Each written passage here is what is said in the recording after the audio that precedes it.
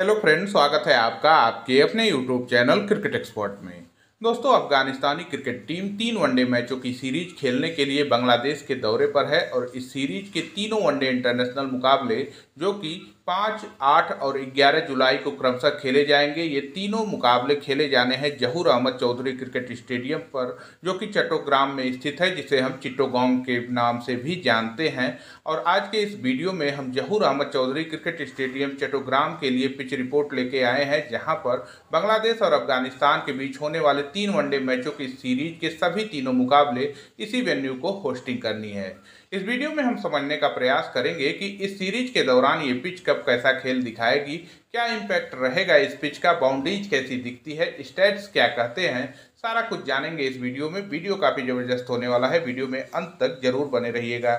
लेकिन चैनल को सब्सक्राइब नहीं किया तो ज़रूर कर लीजिए, साथ ही नोटिफिकेशन के बेल पर आल वाला बटन ऑन कीजिए। वीडियो पसंद आए तो लाइक कीजिए, साथ ही फेसबुक पर देख रहे हैं तो लाइक और फॉलो ज़रूर कर लीजिए।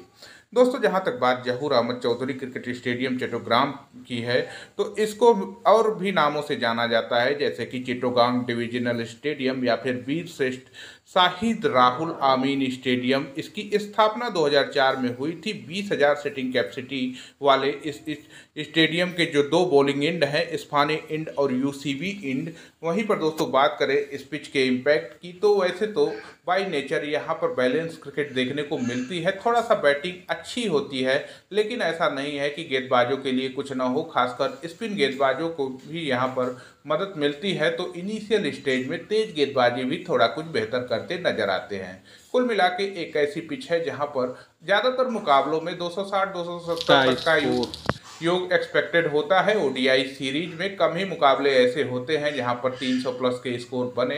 वैसे अगर हम बात करें यहाँ के मुकाबलों की तो कुल मिला के पच्चीस वनडे इंटरनेशनल मुकाबले इस वेन्यू पर हो चुके हैं। जिनमें से 10 बार पहले इनिंग में बैटिंग करने वाली टीम ने तो 15 बार चेज करने वाली टीम ने मुकाबले जीते हैं।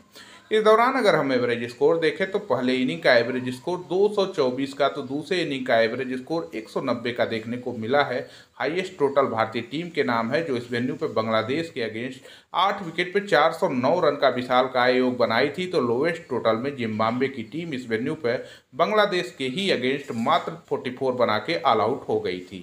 जहाँ तक बात हाईएस्ट स्कोर चेज की है तो बांग्लादेश के नाम है, जो कि जिम्बाब्वे के अगेंस्ट इस वेन्यू पर चेज करते हुए दो सौ अट्ठासी रन बना के मुकाबला जीता था। तो वहीं पर अगर हम लोएस्ट स्कोर डिफेंड की ओर देखें तो पाकिस्तानी टीम ने अपने एक सौ सतहत्तर रन के छोटे से योग को भी बांग्लादेश की सामने सक्सेसफुली डिफेंड करके मुकाबला जीत लिया था। वैसे ही यहाँ पर जो 25 वनडे इंटरनेशनल मुकाबले हुए हैं, यहाँ पर अगर हम पहले इनिंग का स्कोरिंग पैटर्न देखें तो यहाँ पर 200 से कम 10 बार योग बन चुके हैं तो वहीं पर 200 से दो तक का योग छः बार 250 से दो तक का योग भी छः बार तो 300 प्लस इस वेन्यू पर पहली इनिंग में केवल तीन बार अब तक देखे गए हैं। वहीं पर दोस्तों बात करें, अगर हम यहाँ की बाउंड्रीज के बारे में तो कोई बहुत बड़ा स्टेडियम यहाँ पर नहीं देखने को मिलता है। कुल मिला के साठ से सत्तर मीटर के रेंज की बाउंड्रीज यहाँ पर कवर होती है तो वहीं पर अगर हम बात करें बांग्लादेश और अफ़गानिस्तान के बीच ओडीआई मैचों में हेड टू हेड स्टेट्स की तो दोनों देशों के बीच कुल मिला के ग्यारह वनडे इंटरनेशनल मुकाबले हुए हैं। यहाँ पर बांग्लादेशी टीम थोड़ा अच्छा खेलती नज़र आई है। इन ग्यारह वनडे मुकाबलों में सात मुकाबले बांग्लादेश ने जीते हैं तो वहीं पर चार मुकाबलों में अफगानी टीम ने अपना झंडा बुलंद किया है। तो वहीं पर दोस्तों, अगर हम इस वेन्यू पर स्पेसिफाइड परफॉर्मेंस देखें तो बांग्लादेशी टीम ने सभी 25 वनडे इंटरनेशनल मुकाबलों में पार्टिसिपेट किया है और यहाँ पर बांग्लादेश का रिकॉर्ड काफ़ी बढ़िया रहा है। इन 25 मुकाबलों में 16 मुकाबले जीते हैं 9 मुकाबलों में हार का सामना करना पड़ा था। तो वहीं पर अफगानी टीम ने इस वेन्यू पर कुल मिला तीन वनडे मुकाबले खेले हैं और ये तीनों ही मुकाबले बांग्लादेश के अगेंस्ट खेले गए हैं और इन तीन मुकाबलों में अफगानिस्तानी टीम को सिर्फ़ एक मुकाबले में जीत हाथ लगी है। दो मुकाबलों में बांग्लादेशी टीम ने बाजी मारी है। कुल मिला के दोस्तों, अफगानी टीम थोड़ी सी अनुभव में कमी ज़रूर है, लेकिन टैलेंट की कोई कमी नहीं है तो वहीं पर बांग्लादेशी टीम अपने घर में काफ़ी बेहतरीन क्रिकेट खेलती है, काफ़ी रोमांचक सीरीज़ हमको देखने को मिल सकती है। आपको क्या लगता है, इस सीरीज़ का क्या रिज़ल्ट निकलेगा और किसके पक्ष में जाएगा?